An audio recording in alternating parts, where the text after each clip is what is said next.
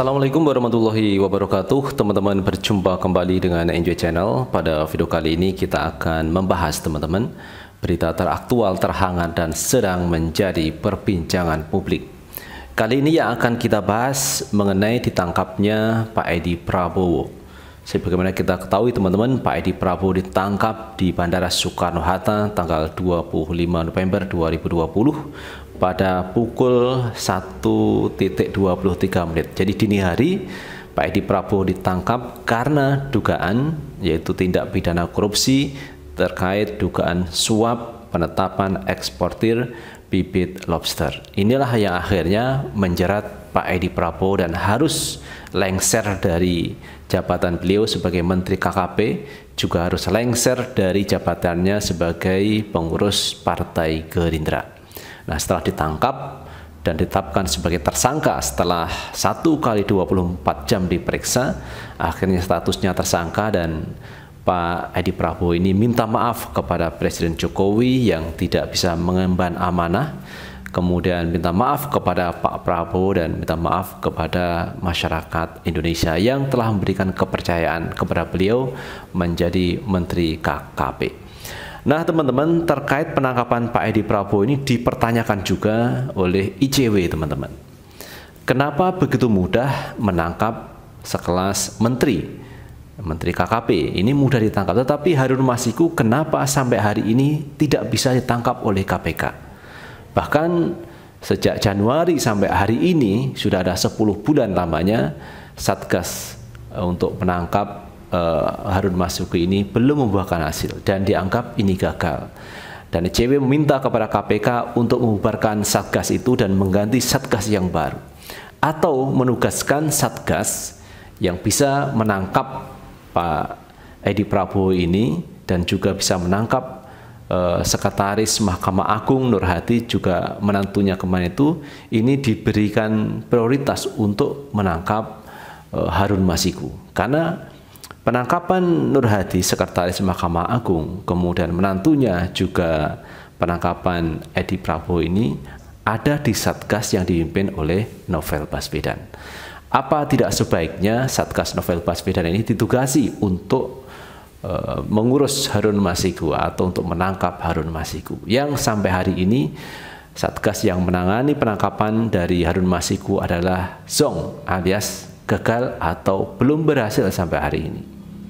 Maka perlu ada satgas baru atau satgas dari novel Baswedan ini ditugasi untuk menangkap Harun Masiku. Nah teman-teman terkait itu semua kita akan baca berita. Ini saya ambil dari kumparannews.com teman-teman. ICW mengatakan kenapa menteri dapat ditangkap KPK sedangkan Harun Masiku tidak. Wah ini mulai dipertanyakan kembali teman-teman. Kalau menangkap menteri bisa, tetapi menangkap sekelas Harun Masiku kenapa tidak bisa? Kenapa? Apakah ada yang membackingi Harun Masiku atau seperti apa? Atau uh, Harun Masiku ada kaitannya dengan petinggi-petinggi partai sehingga harus mengalami kesulitan untuk menangkap dari Harun Masiku itu. Ini juga menjadi pertanyaan masyarakat teman-teman. Kenapa sekelas Harun Masiku sulit untuk ditangkap? Kita baca teman-teman beritanya, KPK menetapkan Menteri Kelautan dan Perikanan Edi Prabowo sebagai tersangka kasus suap. Ia diduga menerima miliaran rupiah terkait dengan pengurusan ekspor benih lobster. ICW, Indonesia Corruption Watch, mengapresiasi kinerja KPK yang berhasil meringkus dugaan pat gulipat Edi Prabowo namun, ICW menggarisbawahi bahwa proses hukum ini bukan berarti dapat diartikan kondisi KPK masih seperti sedia kala. Jadi intinya teman-teman ketika KPK bisa menangkap Edi Prabowo ini jangan diartikan bahwa KPK seperti dulu. Artinya penindakan-penindakan yang cepat kemudian banyak menangani banyak kasus ini berbeda dengan KPK yang sekarang. Jadi sejak Undang-Undang Nomor 19 tahun 2019 kemarin ditetapkan, ini menurut dari ICW mengalami penurunan yang cukup drastis, tidak seperti dulu, tidak seperti di zamannya Abraham Samad, Bambang Wijoyanto yang banyak menteri-menteri yang ditangkap oleh KPK waktu itu. Nah, hari ini memang bisa menangkap menteri, tetapi jumlahnya kan tidak banyak.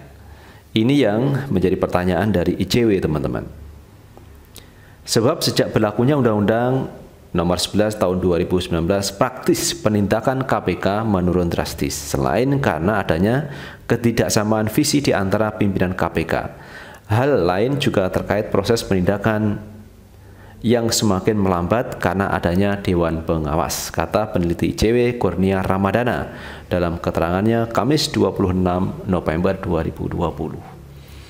Jadi memang teman-teman ketika KPK punya Dewan Pengawas dan itu terstruktur maka seluruh tindakan KPK mengenai e, penangkapan, OTT, penggeledahan ini harus seizin dengan Dewan Pengawas. Jadi ada satu birokrasi lagi yang harus dilalui oleh KPK jika ingin melakukan OTT, penangkapan atau penggeledahan.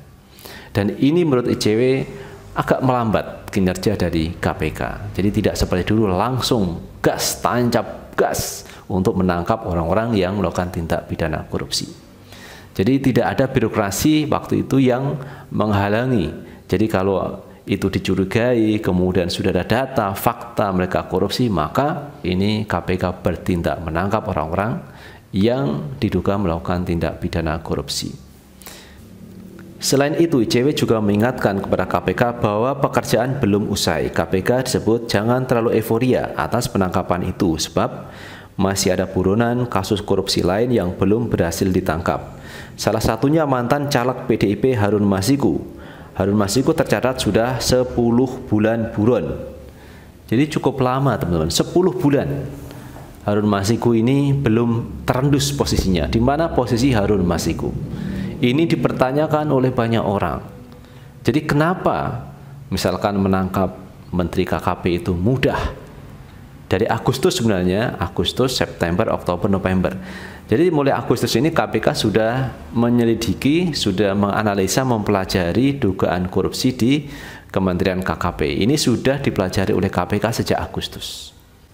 Jadi empat bulan sudah cukup untuk meneliti terkait kasus yang dialami oleh uh, Edi Prabowo sehingga akhirnya Edi Prabowo ditangkap. Tetapi ini Harun Masiku buron selama 10 bulan sampai hari ini belum ditangkap oleh KPK. Apakah begitu sulit untuk menangkap Harun Masiku? Karena itu ICW ini memberikan usul agar Satgas yang menangani perburuan dari Harun Masiku ini diubarkan dan diganti dengan Satgas yang baru. Karena Satgas yang lama ini tidak berhasil sampai hari ini atau perlu Satgasnya Novel Baswedan ditugasi untuk memburu Harun Masiku. Dalam konteks ini ICW pun mempertanyakan kenapa aktor selevel menteri dapat ditangkap KPK sedangkan Harun Masiku tidak. ICW meyakini faktor yang melatar belakangi hal tersebut adalah keengganan dari Deputi Penindakan untuk mengevaluasi tim satuan tugas, kata Kurnia. Jadi enggan untuk mengevaluasi. Kenapa seperti itu teman-teman? Padahal tugas dari KPK ini adalah menangkap orang yang diduga melakukan tindak pidana korupsi tidak pandang bulu, harusnya kan begitu, tidak pandang bulu. Siapa pun yang melakukan korupsi dan itu sudah dipelajari oleh KPK, maka harus segera ditangkap. Tidak pandang bulu, ini hukum. Indonesia negara hukum, maka tidak pandang bulu siapa yang melakukan korupsi, maka harus segera ditangkap dan ditindak. Terkait dengan satuan tugas atau satgas yang menangani kasus Harun Masiku, Kurnia mengatakan lebih baik dibubarkan saja, lalu diganti dengan satgas yang sudah terbukti bisa menangkap sejumlah buron seperti ex-sekretaris MA Nur Hadi. Diketahui satgas tersebut salah satunya terdapat sosok penyidik senior KPK, Novel Baswedan. Novel pun menjadi salah satu satgas dalam penangkapan Edi Prabowo. Tak hanya buronan, tim tersebut juga turut meringkus Edi Prabowo. Jika ini tidak kunjung dilakukan, maka patut diduga ada pihak-pihak internal di KPK yang berkeinginan melindungi Harun Masiku pungkasnya. Nah, itu teman-teman pernyataan dari KPK. Jadi, kenapa eh, KPK enggan untuk mengevaluasi terhadap Satgas yang menangani eh, perburuan Harun Masiku?